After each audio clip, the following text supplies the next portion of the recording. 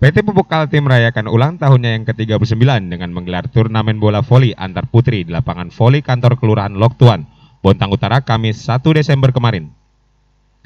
Dalam turnamen tersebut, PT Pupuk Kaltim menggandeng Karang Taruna Loktuan sebagai penyelenggara kegiatan dan secara resmi dibuka oleh General Manager PT Pupuk Kalimantan Timur, Nur Sahid, yang didampingi Wali Kota Bontang Neni Murnaini dan disaksikan Camat Bontang Utara Zemihas, Lurah Loktuan Suryansyah, Ketua Bayangkari Polres Bontang Putri Andi Ervin. Dalam sambutannya, Ketua Panitia Pelaksana menyampaikan, turnamen bola voli antar putri ini merupakan agenda tahunan yang rutin diadakan dalam rangkaian HUT PT Pupuk Kaltim.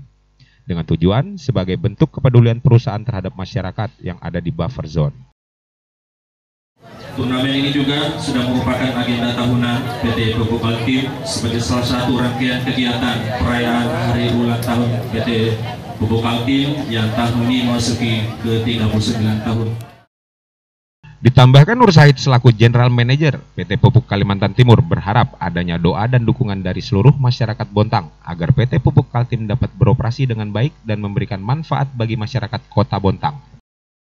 Saya mewakili jajaran direksi, manajemen, dan seluruh keluarga besar Pupuk Kaltim juga memohon doa dan dukungan masyarakat Bontang agar pada saat ini dan di masa yang akan datang dapat uh, PT Kaltim dapat beroperasi dengan baik dan lancar sehingga dapat memberikan manfaat yang lebih lagi kepada masyarakat kota dan bangsa Indonesia.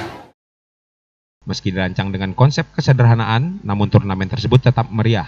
Adapun pelaksanaan turnamen ini rencananya akan digelar dari tanggal 1 hingga 19 Desember 2016 mendatang dan diikuti 16 klub bola voli putri sekota Bontang.